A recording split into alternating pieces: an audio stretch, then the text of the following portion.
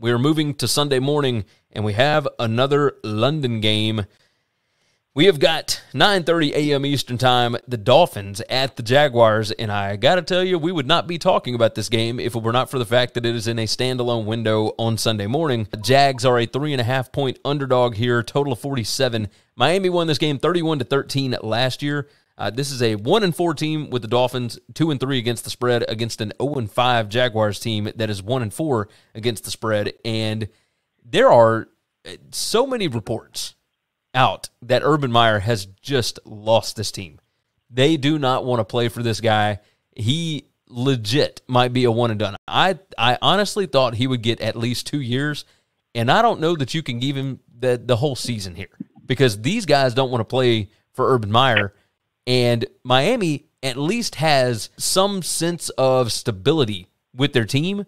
You know, it's not that they're a good team right now, uh, especially, I mean, if you look at DVOA, total DVOA, Miami's number 30 in the league as far as efficiency goes, and Jacksonville number 31.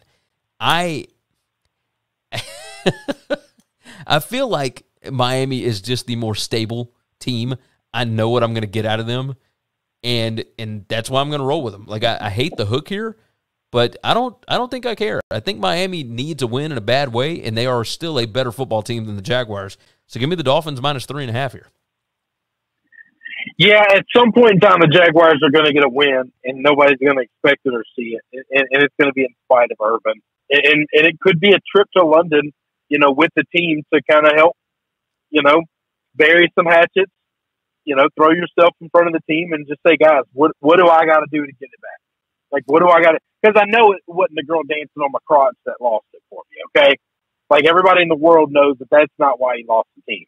It's it's something he is doing that's caused him to lose the team, and maybe he can build a relationship with some of the leaders on that team over this trip to kind of figure out how to get it back. But I don't know that that happens this week, and and we'll see.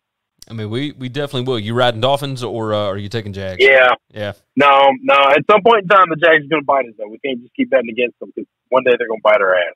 Now you you were not wrong about that. However, uh, I mean, it, it, since we are picking these games, you know, individually, there ain't no way I'm going to take the Jags. There is no chance there.